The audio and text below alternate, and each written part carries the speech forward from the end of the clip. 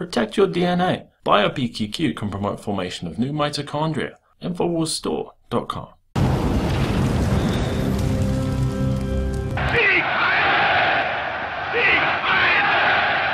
Their Royal Highness, indeed. The Sun published a secret 1933 film showing Queen Elizabeth being taught the Nazi salute by her treasonous uncle Edward VIII, the Prince of Wales. He would later be known as King Edward VIII and Emperor of India, but would be quietly removed from the throne less than 12 months later as he remained pro Nazi even after the war accelerated. His scandalous marriage to a doubly divorced American woman would be his downfall, as the history books would have you believe. However, the once and future king was pigeonholed to the Bahamas as its governor because his Nazi sympathies became widely known during World War II. Two years before his death, Edward told an interviewer that he never thought Hitler was such a bad chap. An MI5 report featuring a British admiral who had attended Hitler's 1937 Nuremberg rally said that Hitler would soon invade, but there was no reason to worry about it because he would bring the Duke of Windsor, formerly King Edward, over as king. So, how far back has the German parasite sat on the English throne?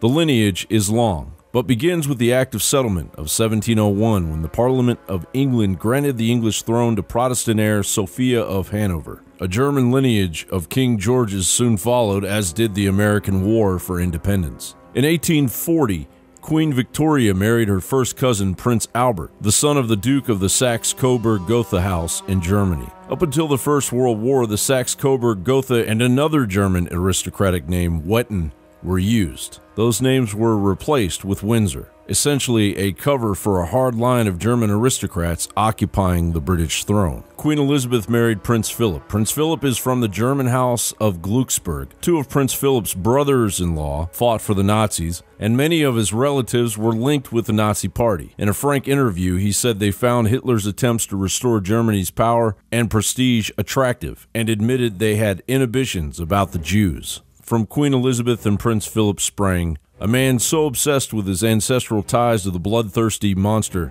Vlad the Impaler, that he has bought up so much property in Romania, he now owns an entire village. The genealogy shows that I'm descended from Vlad the Impaler, you see. So I do have a bit of a stake in the country. And Prince Andrew, who was accused of child sex charges after now allegedly being part of Jeffrey Epstein's case of pedophilia and Prince Edward, whose wife Sophie was embroiled in a scandal involving sex tours, drugs, and gay prostitution after she was recorded by a reporter posing as a sheik. And have they stopped? No, they've increased the royal coverage, oh, the royal carriage. Almost every time I see CNN, it's the Queen of England, gracious leader, oh, we love you. They'll have that British reporter on going, they're probably having pea soup and something proper meal. And again, I'm not an Anglophobe, ladies and gentlemen. I love England. Love a lot of the culture. It, it's amazing. Led with the Magna Carta and the, and the real Renaissance worldwide.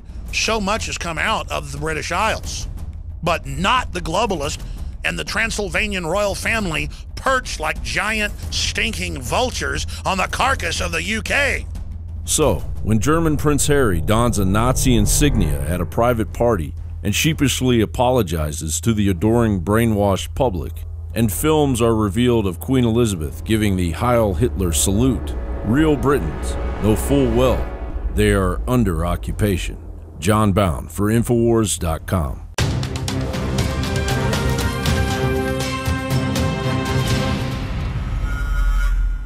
Symbols are powerful, and the globalists have hijacked the symbols of America. They've turned them into their own symbols. Well, we are restoring the idea of the true republic, not the counterfeit globalist empire, by promoting the icon George Washington and others. That's why we're rolling out an 100% made in America line of incredible pro liberty apparel. We are repopularizing liberty we are helping fellow Americans rediscover what made this country great We are the spirit of 1776. We are 1776 worldwide. We are all brothers and sisters in arms in the animating contest of liberty in the long march towards humanity's ultimate destiny of freedom. Visit madein1776.com today and vote with your dollars to promote truly made in America, high quality products, and promote the ideals of liberty.